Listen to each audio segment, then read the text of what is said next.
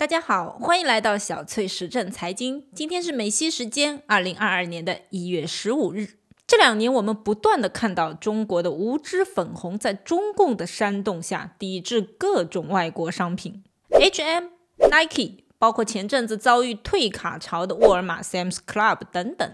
但是他们不知道的是，如果购买和使用这些商品是辱华，那么请问给外资各种优待和特权的中共政府算不算大大的辱华呢？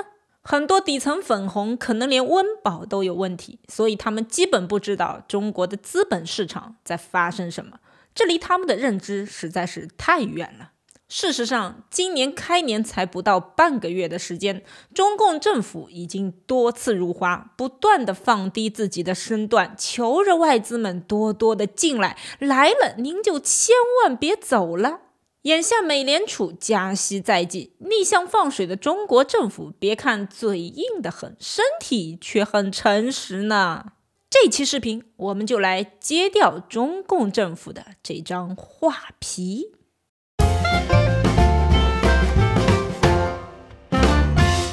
就在昨天的一月十四日，证监会宣布启动货银兑付改革，降低结算备付金最低缴纳比例，这有利于减少全市场的资金占比，提高资金的使用效率。翻译成人话，就是为了进一步吸引外资来炒股，变相给外资加杠杆，让他们能投资中国股市的钱变得更多。这是专门为外资制定的利好。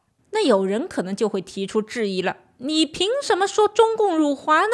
货银兑付改革难道不是都改革吗？对内资难道不起作用吗？哎，还真就是这样。因为本次改革只涉及机构投资者的自营和托管业务，所以个人投资者不受影响，国内的基金公司也不受影响，受影响的就是外资。那么，请问粉红们，对内还是那一套，给杨大人一好处，这算不算辱华呢？今年开年以来，疫情反复，美联储加息在即，中国的 A 股是惨不忍睹。日前，西部利德基金经理盛丰衍在微博发文，这几天跌的都不敢去丈母娘家蹭饭了，称自己一个月亏掉了丈母娘一年的退休金。在这种行情下，外资流入 A 股的节奏有所放缓，当前外资的 A 股持股占比约为百分之五，处于明显的低配阶段。事实上，如果大家有看我去年的一系列节目，就会发现我常常提到，中共政府如今注重降低资本市场的门槛来吸引外资，因为实体经济领域大量的外资已经撤离或者不打算增加投资。这里拿特斯拉给大家举例说明一下。特斯拉自从在中国设厂以后，想要轻易撤离那是很困难的。强势如特斯拉，虽然做到了独资在中国设厂生产，但是中共政府照样会给你制造人为的麻烦。既然来了，总要留下点什么，比如核心技术什么的，能偷就偷，偷不来那就软硬兼施。像特斯拉这样的企业，还有利用的价值，那是肯定不能彻底得罪的。所以干坏事儿的。都是民间力量，而出来替特斯拉撑腰的却是政府青天大老爷。哎，这么说来，按照粉红的逻辑，中共政府的这种行为也应该算是辱华吧？明显胳膊肘往外拐呀。但是人在屋檐下，也不得不低头。特斯拉在一定范围内也只能配合中共政府的要求，比如在新疆开个店什么的。实体外资工厂最大的麻烦就是来自政府的骚扰，于是你想让特斯拉扩大在华投资，对不起，人家不干了。意思很明显，咱们的关系就到此为止了。中共政府的这种热情好客，委实让人家受不了啊。而资本市场由于没有实体工厂的牵绊，外资是可以做到来去自如的。中共政府打开资本市场的操作更像是饮鸩止渴。我们来简单梳理一下资本市场的游戏规则。很简单，炒股不过就是点点鼠标的事儿。人家觉得有利可图，那就来抄底；挣了钱，感觉有风险，那就跑路。你给一家外资下套，让人做了接盘侠，或者制造离场困难，那么对不起，再也没有人会来了。所以中共为了给自己不争气的 A 股市场拉投资，非常有诚意地打出了一套组合拳。去年八月，继花旗集团成为首家获准在华开设托管业务的外资银行后，摩根大通获中国监管部门批准，成为首家外商独资券商。紧接着十月，中国监管机构宣布高盛集团也获准成立类似的企业，全资持有其在华证券业务。全球最大资产管理公司贝莱德也宣布，其中国全资子公司贝莱德基金管理有限公司已获得中国证监会给予的业务许可证，成为首家获准在中国独资开展公募基金业务的外商资管公司。最新的消息，摩根士丹利正在寻求今年在中国获得五张新的银行牌照。花旗集团成为首批为北交所提供清算与结算服务的外资银行，并且在上个月申请了证券交易和投资银行许可证。然后接下来今年还会申请期货许可证。华尔街认定了中共需要借助他们的力量挣外汇，于是不顾中国的政治风险，蜂拥至中国的资本市场。这里中共到底私底下给了洋大人们什么承诺和好处，让华尔街如此的义无反顾呢？这些事自然是不会让粉红们知道的。就算知道了，也可以通过雕盘侠们放出一篇大旗论来。比如说啊，国家这么做是为了绑架华尔街，进而影响美国政府的政策。但是资本市场的买卖自由度高，况且在金融领域，中共政府的监管能力太差，往往是后知后觉，最后只能一刀切。因为他们对很多东西都不懂，不懂还不愿意学，所以说到底，中共和华尔街之间到底谁玩谁，还真不一定呢。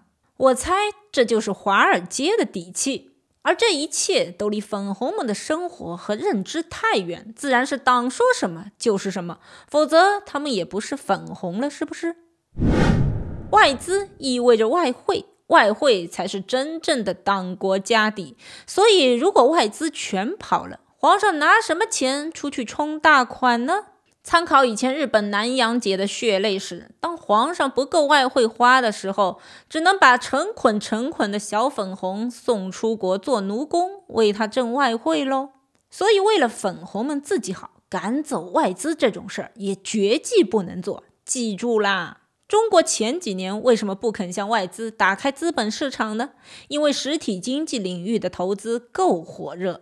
实体经济能带来稳定的就业，外资先进的技术能带动中国本土企业的崛起，外商投资实体经济当然是对国家最优的选择。然而，皇上登基以后，以火箭速度开倒车，再加上战狼粉红们的推波助澜，中国的政策风险加剧，趋利避害之下，外资撤离的速度也就加快了。事实上，这几年除了特斯拉，我们再也找不出第二个跨国大公司来中国设厂了。而就算是特斯拉，也可以做到拒绝合资、独资经营，这在进入中国的车企中是头一个。从中也看出中国政府的服软和让步。当然，这里自然也有中国自己的盘算，比如要它的技术和数据。如今的中国市场，在外资的眼中，已经不是投资中国的概念，他们更多的只是想把产品卖到中国罢了。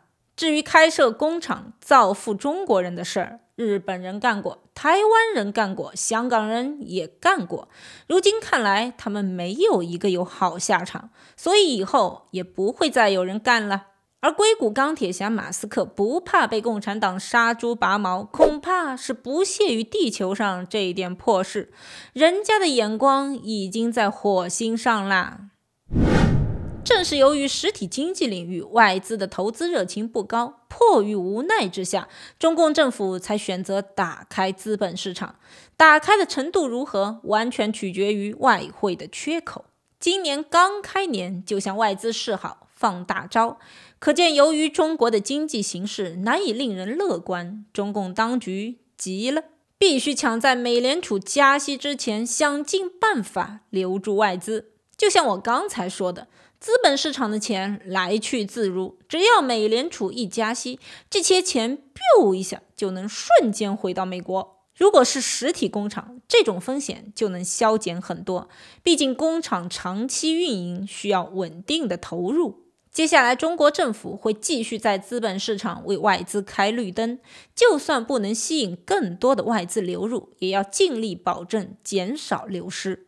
另一方面，外汇的缺口仍然要想办法弥补。有一条消息值得引起大家的关注，那就是二零二一年年底，瑞士联邦税务局基本完成了与上百个国家或地区移交相关离岸客户资料的工作。根据瑞士官方公布的数据，瑞士税务局已向合作方共享了约三百三十万条金融账户信息，这里面包括账户持有者的姓名、住址、国籍、税号，以及税务申报机构、账户余额和资本收入等信息。这也就意味着中国政府已经拿到了所有中国人在瑞士银行的账户信息，新一轮的查税风波正在酝酿之中。在瑞银开户的中国人主要就是两类：贪官和富商。贪官自然不适用查税的由头，但是可以作为打击政治对手的有力武器。所以下一轮被查税的，主要就是在瑞银藏了巨额财富的富商们。至于是谁，我们且看戏就是了。过不了多久，一定会真相大白的。如果大家还记得的话，我在二零二一年中盘点的节目中提过。当下的浙江富商们正在为了躲避共同富裕而进行资本大逃亡，其中一条主要的洗钱通道就是瑞银。所以，一旦瑞银的账户信息不再是秘密，那么肉身还在国内的他们就极有可能会遭受变本加厉的清算。可见，当下的中国如果想要保障资产安全，只有人和钱一起翻墙逃亡这一条路啦。当然，不管是贪官还是富商，这一切又都跟粉红们没有关系。